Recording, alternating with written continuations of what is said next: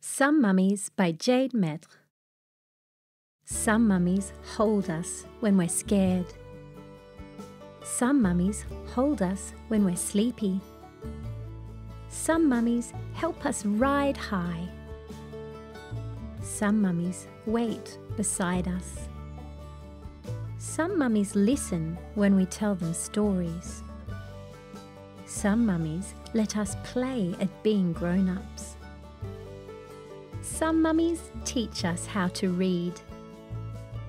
Some mummies dress us up the same.